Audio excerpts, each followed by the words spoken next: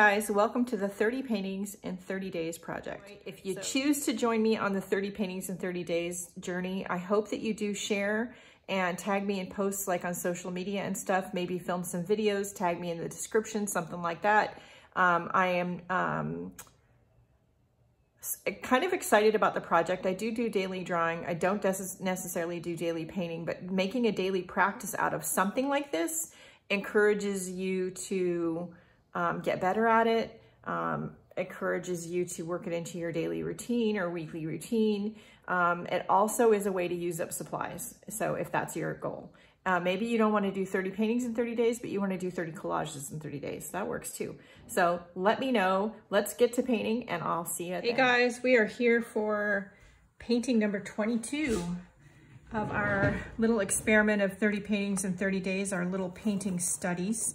And I think we are gonna work on um, some abstracted sort of berry floral shapes that I have my inspiration book open to. And I spilled glitter earlier, and of course there's glitter everywhere. Anyway, uh, I am going to start, of course, with my flat brush as always. I'm going to just take the sort of dried up grayish color, brownish grayish color that's on here, and I'm gonna mix it with Jane Davenport's 70s eyeshadow, which is a light blue. Brighter than I would normally pick, but the gray, of course, as you can see, tones it down a lot. I'm gonna add some water, kind of wash it out a little bit. And make sure our tape is pushed down. Okay. We're gonna put, just, just slap some on there. Just slap it on there. Don't worry about it. We're, of course, we're doing the background. You guys know I like to do the background before I do that focal image. Always, I'm gonna take some of, oh, what color am I gonna? I could use that. Say, let's just stick with 70s eyeshadow for right now. I'm gonna put some of the paper, obviously is still wet. I haven't dried anything. I'm gonna let it blend and do what it will. My husband's downstairs working in the garage if you guys hear background noise. Okay, I'm gonna take my sea sponge. It's dry, it's not wet. And I'm gonna just kind of do this. It just creates, gives this texture to the background. I'm gonna dry it. I'll edges right. don't come out cleanly. It's because that little piece of tape wants to just poke up. So we'll see what happens at the end. Now I'm going to go to my round number three brush and I'm going to take Jane Davenport's pink color that's in here called Best Friend. I do find that her colors tend to be more opaque than um, normal watercolors. They tend to be more gouache-like. I'm gonna mix it here with just a little bit of that blue-gray color that we have. It's gonna purple it up just a little bit, which is fine.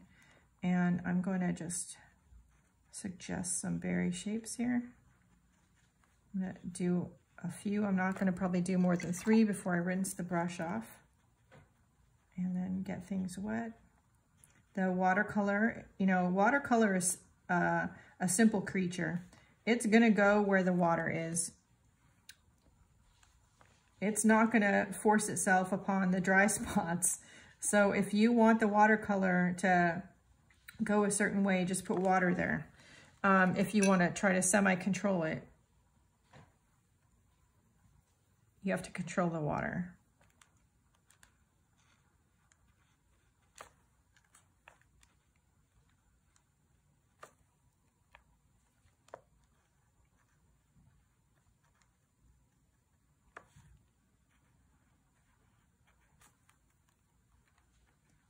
So I'm gonna make three more shapes.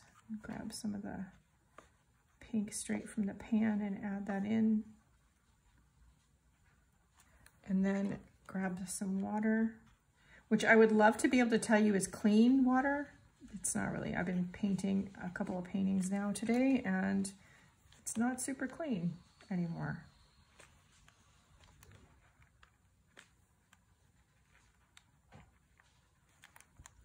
Now, if you have a spot like this where the paint is puddling and it's not as varied in tone and um, movement as like this one is, um, just take your sort of damp but not super wet brush and just put it there and look at how it lifts up the water. And then you can take some of the pigment straight out of the pan with not too much water and add some color back if you lift too much up. I am going to take um, Magenta out of this other palette. That's my husband sneezing. Our allergies have just been crazy this year.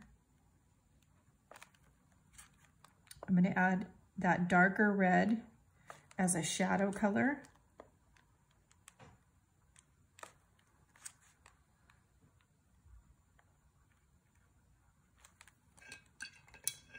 I'm to go in with Moon Glow, which is a dark grayish purple.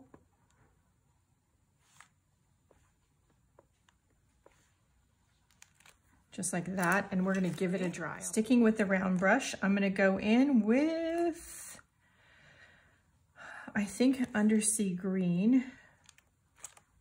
Again, I'm to mix it sort of, um, tone it to the other colors that are in the painting by mixing it with the paint that's already on my little plate over here.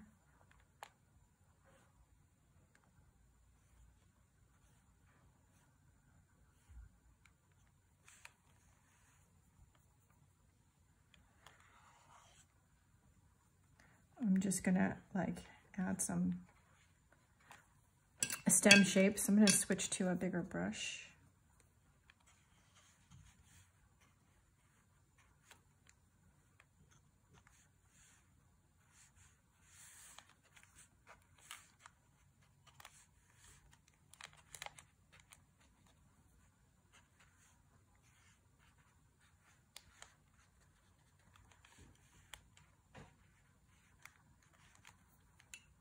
Just blending out the colors and the green until I'm happy. If I think there's too much or, you know, I've put color in the wrong place, you can do that and lift it up. If it's too defined and I want it to be more suggestive, just have a rag or something nearby.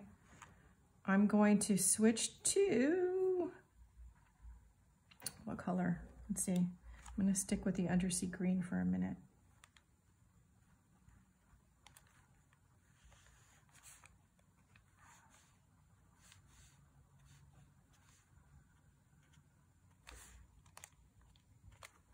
Okay, and I'm going to grab some Moon Glow,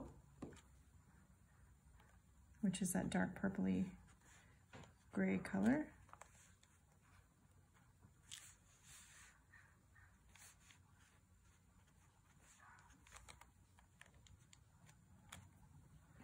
Gonna dry that. Okay, we're gonna go back to our round brush. I'm gonna go straight into Moon Glow.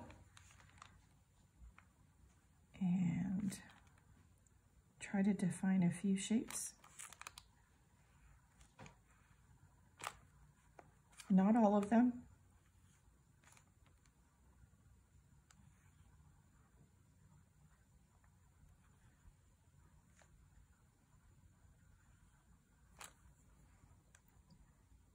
Just enough to tell you for sure what's going on in the painting, or at least to give the viewer a good guess. Yeah, that does, paint, tape doesn't want to stick today. I don't know what the deal is. Okay, and then I'm going to go in with, um, this is a Jane Davenport paint. I think it's called Jiminy. Um, some days I can't read my own writing, so there's that.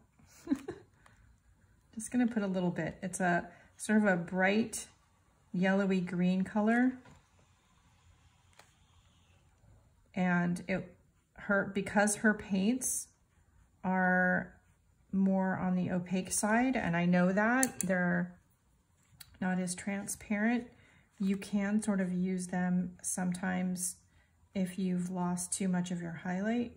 Of course, being someone who started as a mixed media artist, I have nothing against using a gel pen or acrylic paint, or I think that's completely fine. I'm also gonna go in with that same pink color that we started out with called Best Friend and kind of do the same thing.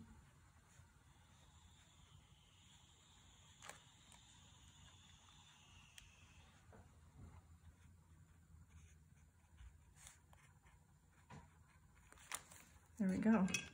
And let's give it a dry. Pull the tape. Well, that side's not too bad. Tape doesn't want to come off my fingers. Okay, let's see. That side's not too bad. Oh yay, it didn't, it didn't sneak up under there. I thought it was going to. So there we go, painting number 22. All right, on to the next. How was that for today's painting? I hope you enjoyed the process and um, if you want instruction on the painting, you need to be over on Patreon. They are gonna get the talking version. Here on YouTube, you're just gonna get the speed through version, sorry. Um, if you'd like to support the free content here on Facebook or in the, uh, here on Facebook, holy cow. If you'd like to support the free content here on YouTube or over in the Facebook art groups, I certainly would appreciate that. You can of course join Patreon. We do have YouTube membership here for a, a small fee. And um, also I have an Etsy shop and I have, um, PayPal tip jar and all that stuff. So check out the video description. Relevant links will also be down there. And uh, yeah, don't forget the most important things. Stay healthy, stay safe, stay creative, and go out and do something nice for yourself because you deserve it. Do share your work with me. I would love to see what you're doing. That's it for now. See you later. Bye, guys.